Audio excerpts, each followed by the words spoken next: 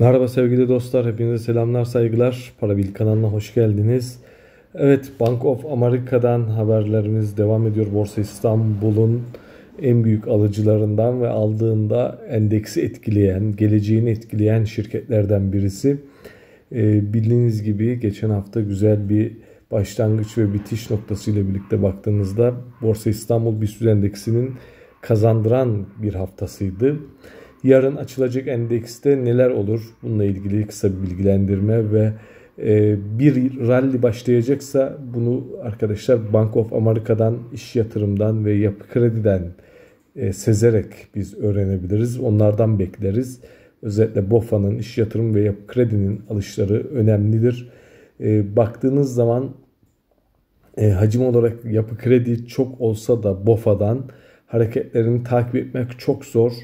Bu yüzden Bank of America yatırımcılar açısından takip edilebilirliği daha kolay bir şirket e, ve son zamanlarda çok fazla alım yaptığını görüyoruz ve bu aldığı hisselerin e, mantıklı olarak baktığınızda e, borsanın yükselme döneminde de alacağını, toplayacağını farz edebiliriz, düşünebiliriz. Çünkü e, aslında Bank of America'nın aldıkları risklidir. E, aldığını satabilir ancak işte 21 ve özellikle 22 Kasım alışları BOFA için ve Borsa İstanbul yatırımcılar için oldukça önemli gözüküyor.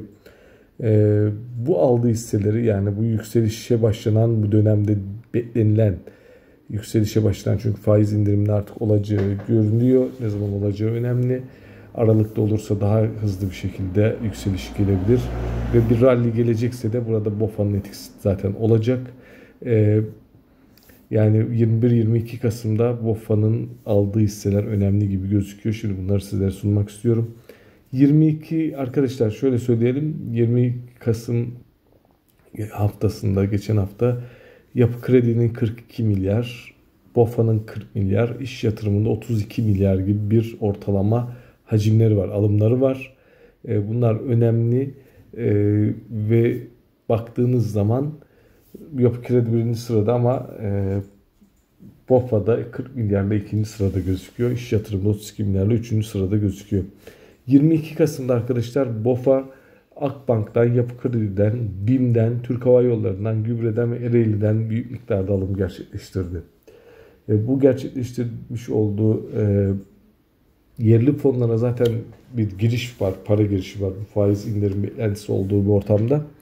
Bu fonlara para girişin yanında BOFA'nın bu hisseler üzerinde sürekli kazanması beklenebilir. Bakın bunlar kesinlikle bir yatırım tavsiyesi değildir.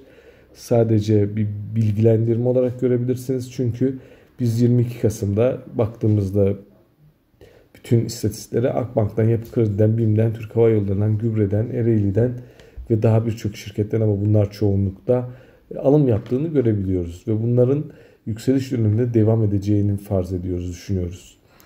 21 e, Kasım'da da 5.2 milyarlık sadece 21 Kasım'da 5.2 milyar gibi dev bir alımı var. Perşembe günüydü sanırım. Ve burada arkadaşlar yapı krediden sadece 1.2 milyar Türk lirası satın almış. İş CTR, Türk Hava Yolları, Sabancı e, devam ediyor diğer şirketler. Ama bunlar çok fazla. Koç var.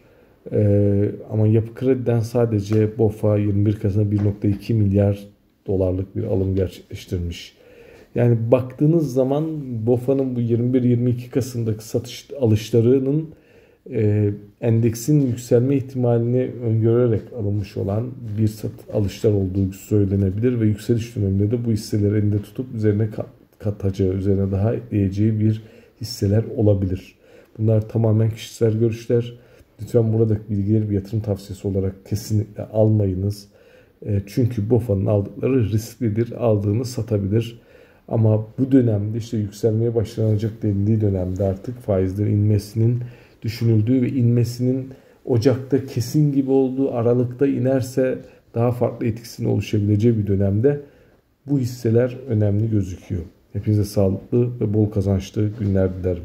Lütfen buradaki bilgileri bir yatırım tavsiyesi olarak almayınız ve her şartta bu videoları yapmaya çalışıyoruz sizler için. Kanalımıza abone olup bildirim zilini açmayı unutmayınız arkadaşlar. Selamlar, saygılar.